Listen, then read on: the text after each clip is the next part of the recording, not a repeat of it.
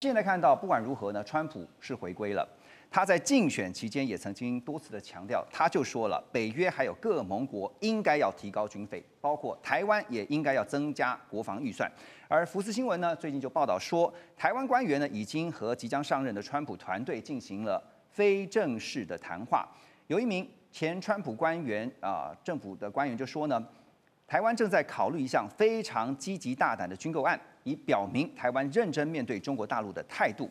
好听到了非常积极大胆的军购，这个内容到底是什么呢？可能包括了多达六十架的 F 三十五战机、十艘退役军舰，还有四百枚爱国者飞弹，总价值呢高达了一百五十亿美元，折合台币是四千八百五十九亿啊。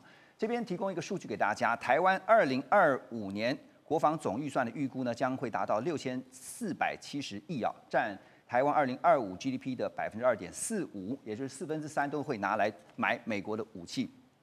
接种，也就是在台湾丹江大学整合战略科技研究中心研究员呢，他就说。不管川普曾经提过这个 GDP 的百分之十，或者是呢 O'Brien 呢，呃，还有科伯奇啊这些人所提到的这个 GDP 百分之五作为这个国防预算啊，都在短期内不可能达到的数字啊，他说是 Mission Impossible 的。为什么？他帮大家试算了一下哈，画画面当中我们也可以大家看一下，以二零二五年台湾的 GDP 总额预估值啊，二十六兆四千四百九十三亿来计算的话。百分之十呢，就是两兆六千四百四十九亿。如果是五趴啊，变一半的话呢，就是一兆三千两百二十五亿，占二零二五年中央政府税出总额三兆一千三百二十五亿的比例呢，分别是八十四趴跟四十二趴。也就是说，如果国防预算提高到百分之十的话，是最高的话，哈，是川普讲的，那只有呢百分之十六是可以分给这些非国防预算，包括像社服啊。你想想看，怎么可能哈？不过我们讲说川普是生意人啊，我继续请教温家老师啊。我们都知道他是生意人，其实他很会 bluff，就是很会喊价哈。他先喊百分之十，但是最后呢，也许不见得真的是百分之十啊。怎么看？真的？那难道真的也要到百分之五啊？百分之五对台湾来讲也是非常重的负担呢。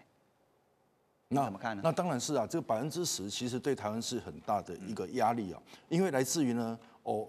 我们呢，有时候在看一个问题，就是说，现在其实我们跟拜登买的武器，现在都还没到位啊。但实际上，只要说去买武器，那就是等于同给美国交保护费。嗯，哦，这个这个概念嘛。那你说百分之十，那当然，其实百分之十是怎么一个算的一个估算呢？可能还包括它的后勤跟维修。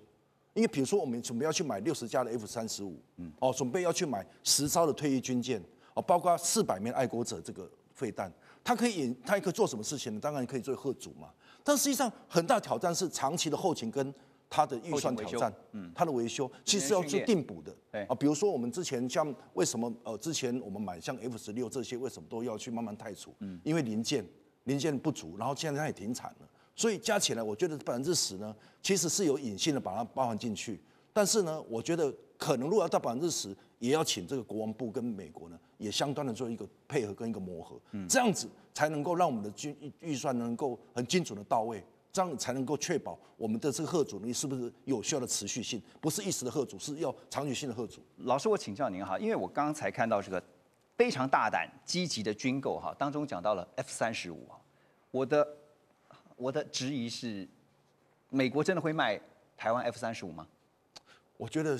此时哦，嗯，可能还因为这个 S F 三十五，它具两个功能，就是一个隐性跟一个感测能力，嗯，第二快速部署。那其实这这个是具有攻击能力的，因为其实美国对现在台湾政策还是台湾不独这个呃中中国不武嘛。那你这如果你太过照进，太过有攻击能力，他也怕我们有产生变成怎么样攻击最大防御哦，是他担心的，所以被卖给我们，我觉得可能就喊喊价吧。OK，所以你也是质疑的。对，OK，那那我这个同样问题想要请教施董哈，那真的会卖 F 三十五给台湾吗？还有就是有关于军购哈，就提到这个保护费的问题啊。其实您曾经提过说，台湾对川普来说不是缴不缴保护费的问题啊，而是因为台湾呢从来就没有停止过军购，是缴了保护费，美军还有可能不来的这个问题。好，另外一个逻辑呢，就是说如果解放军打台湾的话，川普呢他说他要克两百趴的关税。但这句话呢，如果解读说，那如果大陆愿意付两百趴的关税，就可以打台湾吗？哎，这个逻辑听得懂吗？OK，所以问题就是说，川普把防卫预算跟区域安全绑在一起的这个逻辑，您怎么看？啊，防卫预算是区域安全的一部分，但并不是全部了。所以区域安全不可能完全仰赖防卫预算。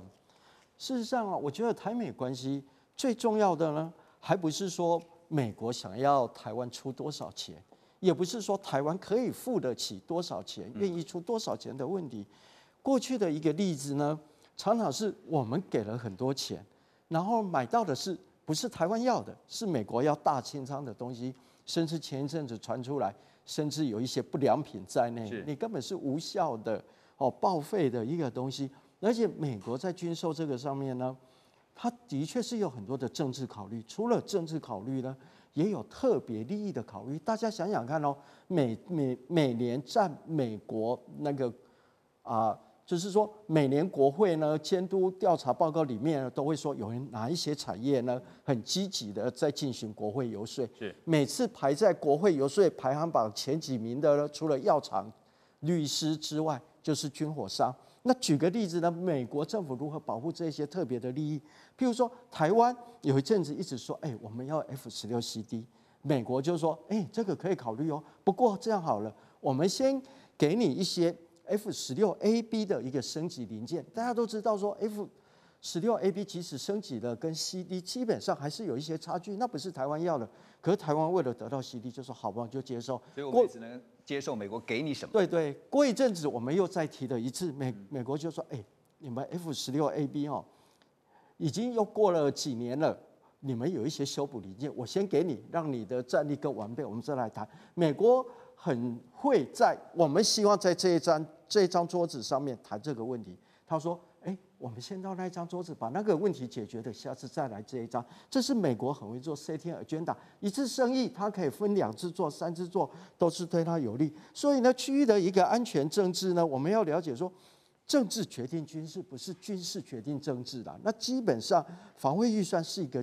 啊，军事议题，我们还是要更全面的从政治的角度来看它。OK，但是回归到一个问题，就是说两岸一定要搞到这种剑拔弩张的气氛嘛？哈，其实也未必哈，因为这两天有一个比较轻松，而且是蛮值得关注的喜事啊，是两岸联姻啊。我们说的就是呢，曾任中共中央政治局委员，同时重庆市委书记啊，薄熙来他的儿子薄瓜瓜。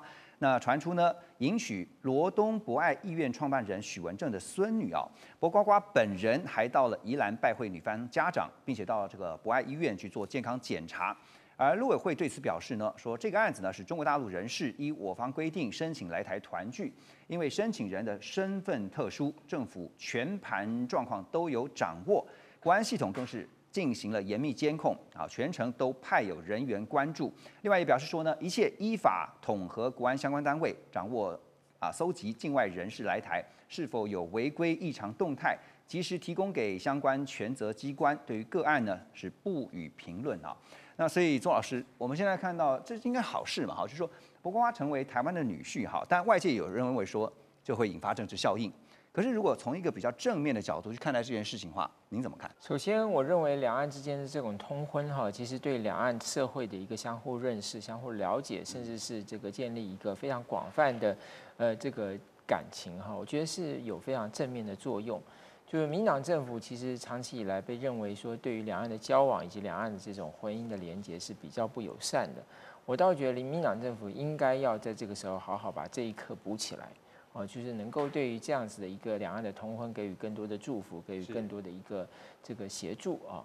那不过我看到就是说，呃，陆委会跟海基会的发言哈，是呃让人有一点这个错愕哦。因为陆委会说，本案是这个依据本案是依规定申请团聚来台，然后呢，这个罗文佳的说法，就海基会的这个。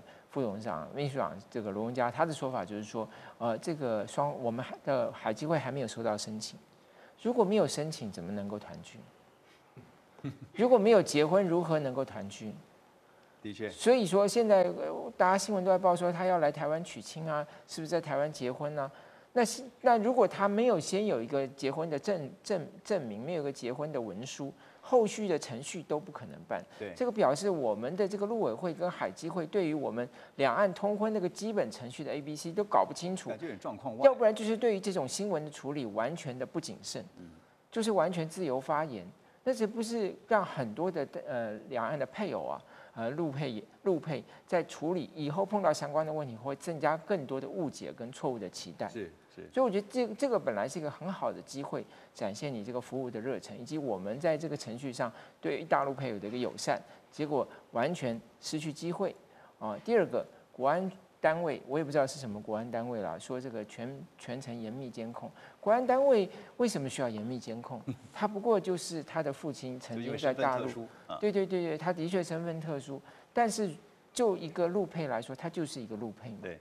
他就是来台湾有，我如果这样，如果说他已经能够来台湾团聚，那么应该他就是结了婚了来这边请客，这也是我们这个呃华人的一个传统嘛。